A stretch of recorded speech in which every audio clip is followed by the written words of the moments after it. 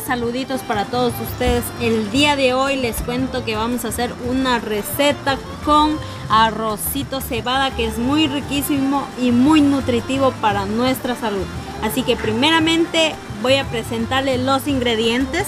El arroz de cebada, aquí tengo colcito para hacer también nuestro refrito, huesito de chancho, una zanahoria, cebollita, apio, culantrillo, que no nos puede faltar el culantro silvestre, perejil y nuestras papitas. Así que mi gente linda, iniciemos primeramente haciendo nuestro refrito. Voy a picar la cebolla, ¿sí?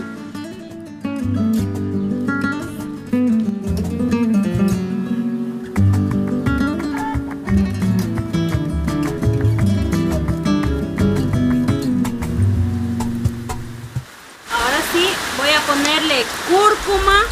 Miren la cúrcuma que yo hice en el video anterior aquí tengo el comino y también el orégano si ven entonces todo esto le voy a poner aquí y vamos a menear para que se sofría.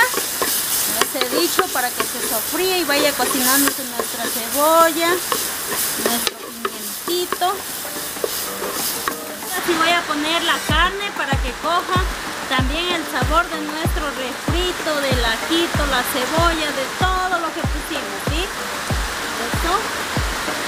Y de la misma manera vamos a revolver todo eso para que vaya cogiendo, como les digo, el sabor.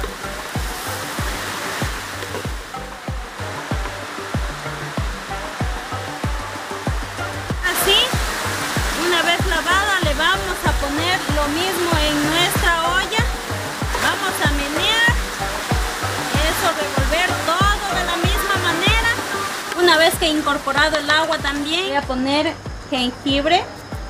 Tres hojitas pequeñitas de laurel. Este es el apio. Si ven, voy a tratar de quebrarle un poquito. Suelto en mi ollita. Le voy a poner aquí tengo unas hojitas del culantrillo. Miren, traje para indicarles cómo es ya cuando está floreado. Si ven, solo le voy a poner las hojitas y el tallito también.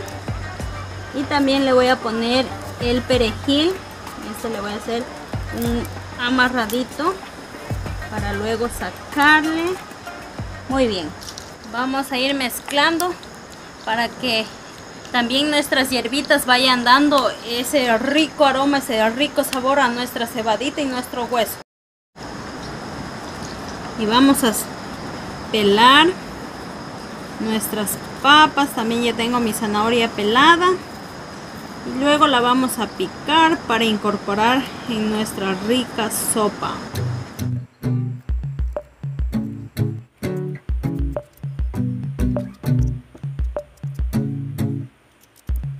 Ahora sí vamos a incorporar nuestras papitas.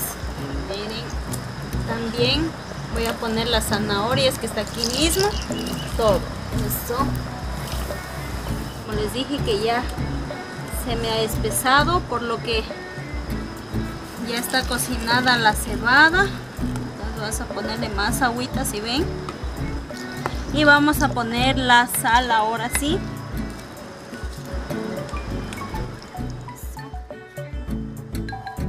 voy a incorporar la colcita eso revuelvo para que se me zancoche la col esperamos unos 5 minutitos y lo sacamos nuestra ollita.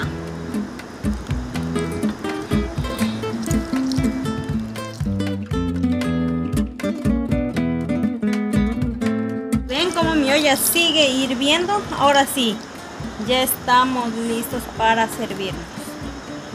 Miren si ven cómo nos quedó riquísimo y darle el toque final que nos hace más riquísimo son nuestras hierbitas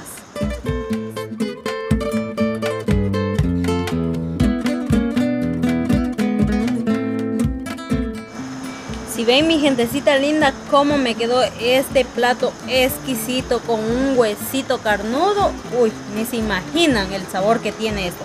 Que le acompañé con un aguacatito y un platanito asado que aquí siempre lo hago acompañando con nuestro platanito que es de la Amazonía. Bueno mi gente linda, espero que ustedes también se hagan esta comidita en casa y nos vemos en una próxima receta aquí mismo. Chao chao mi gente linda que yo me voy a quedar comiendo.